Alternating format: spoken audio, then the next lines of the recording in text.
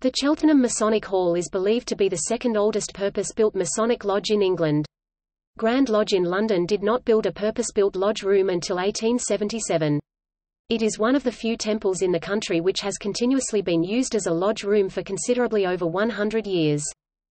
It is also the oldest public building, other than ecclesiastical, in Cheltenham still used for the purpose for which it was designed.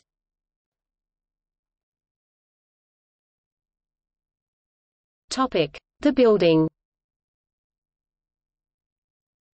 A Grade II asterisk listed building, the history of the Cheltenham Masonic Temple began on 5 August 1818, when Brother Baines proposed, "...that the propriety of erecting a new lodge room should be discussed at the next lodge."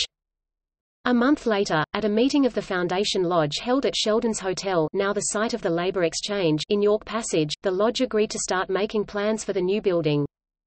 The external appearance of the building is an impressive stone structure, with deep recesses in the walls which give a solid appearance. It has a few Masonic ornaments carved in the solid stone and two pillars on the main front. The detail of the capitals is unusual, apparently it was meant for network, lily work and pomegranates. At the four corners of the building are heavy tower-like projections which appear to contain chambers, possibly secret chambers such as were recommended by early writers on Masonic temples. The building was designed to stand independently on the site of the garden, but houses have been built up against it on two sides. The Foundation Lodge, Royal Union Lodge, the Foundation Chapter of Unanimity, Keystone Lodge of Mark Masons, Cotteswold Preceptory, the Perseverance Lodge and the Mercurius Lodge have all used this building. Within a year of the arrival of the Foundation Lodge in Cheltenham, plans were made to build the Masonic Hall, and a newly initiated brother, G. Underwood, was asked to prepare the plans and estimates. Underwood had already made for himself a name as an architect and was at about that time engaged on the new church, Holy Trinity, in the same street. He was also the surveyor employed by the post office for the first map of Cheltenham. In May 1820, the plans were sent to HRH the Duke of Sussex, the Grand Master. The walls of the refectory or banquet hall were elaborately painted with images of the canopied stalls of the Knights Templar, while at the window end of the same there are canopied recesses with recumbent effigies of knights.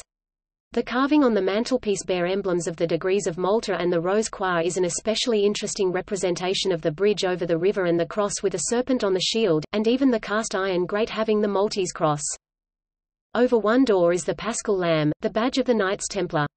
Over another is a Bible on a cushion, whilst over the door to the passage is the armor and helmet of a Knight Templar and a motto, Quis Domini habitabat.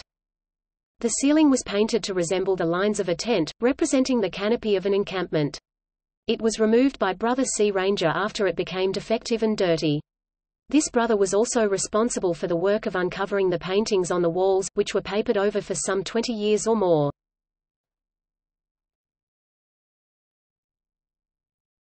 Topic. Site The site of the Masonic Hall must have been an important one in 1818, the price given for it was considerable. Originally the building stood independently in the large garden, but the area has been built up. The existing garden is now surrounded by a box tree hedge and an old acacia tree.